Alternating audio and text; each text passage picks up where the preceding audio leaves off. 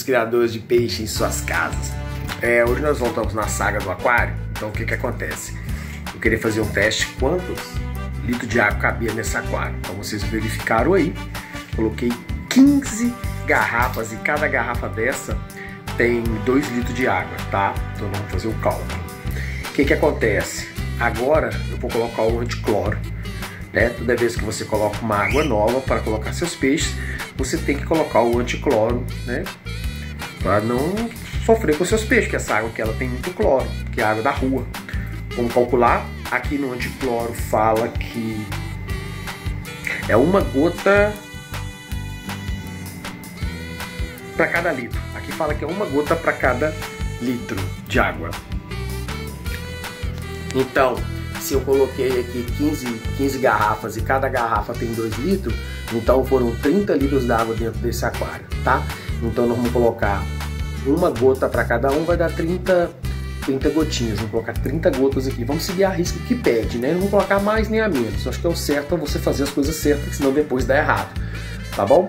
E esse aquário vamos começar a fazer o plantado novamente nele. Não era para estar mexendo agora, mas eu não tô aguentando. Não tem que fazer, entendeu? Eu vou mostrar para vocês um espaço que tem nele aqui atrás.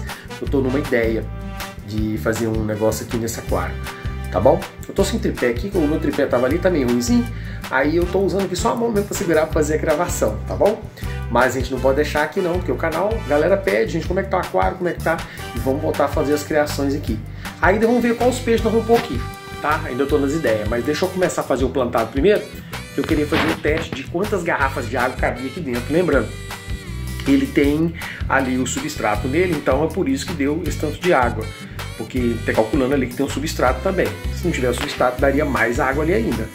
Tá bom? Vamos lá, colocar as 30 gotinhas. 30 gotinhas, ó. Ó.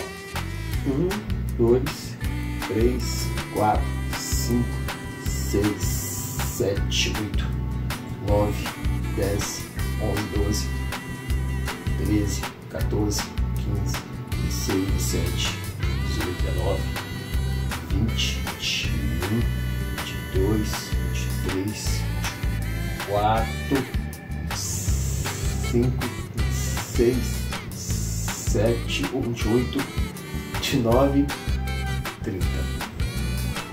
Foram 30 gotinhas. Ó, lembrando, não tô aqui para falar de marca, não sabe, eu comprei dessa aqui mesmo. Então, vamos fazer um teste aqui e a gente vai ver. Eu queria ter feito o teste na água antes de colocar ela. Acabei que eu esqueci fazer para ver como é que tá a água. Que eu esqueci, gente, de ver como é que fica, mas deixa aí. Agora aqui eu vou deixar para de um dia para o outro, estou fazendo à noite. Quando for amanhã, tá bom?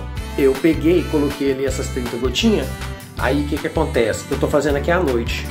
Quando for amanhã eu posso começar já a colocar as plantas. Mas hoje eu estou fazendo esse vídeo hoje no sábado. Então amanhã vai ser domingo, eu não vou ter certeza se eu vou colocar as plantas amanhã.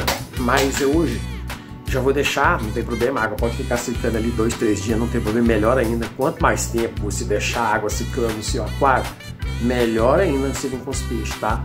Se você puder deixar aí sua água ali, na mais água que você pegou de do, da pia, né, do, do da, da, caixa d'água, da rua, é, se você deixar em torno de 24 horas ou até mais, melhor ainda, para sair todo o cloro, sair todo o cloro dela mesma. Aí você também coloca o anticloro para ajudar e depois você pode vir assim, vir com as suas plantas, vir com os peixes, tá?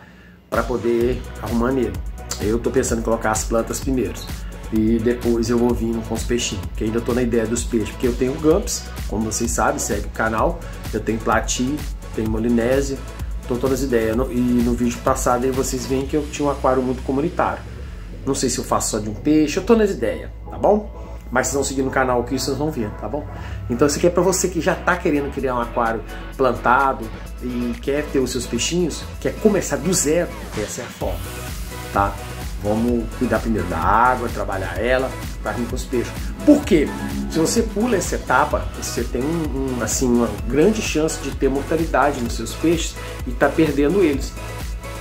Imagina só você ir lá, buscar o peixe, comprar o peixe, pagar às vezes até caro, porque em cada cidade tem um valor né, dos peixes. Então, isso eu vou falar aqui depois aqui no canal. Tem lugares que os peixes são um pouco mais baratos, outros são bem mais caro. E chegar e seu peixinho morrer, e também que é um ser vivo, né? Perder ele, tadinho, morrer, você vai ficar triste, pô, o peixe morreu, cara. Comprei o peixe ali, paguei caro e às vezes fui em outra cidade buscar. Então tenta fazer direitinho. Porque aí tem como você olhar. Se é se você fez tudo direitinho e morreu, poxa, pode ser esses peixes, pode ser o lugar. Aí você pá para outra hora a gente conversa a respeito disso, tá bom? A gente segue nós para mais vídeo aí no canal. Eu agradeço a todos vocês que ficaram aqui até o final. Vamos ver se vocês tinham contado aí. Se eu contei errado, vocês colocam aí pra gente, tá? É, se inscreve se você não é inscrito. Se der para compartilhar, compartilha também. E comenta aí o que, que você faz quando você também está começando um aquário novo. Se você faz dessa forma também, se você tem uma forma diferente.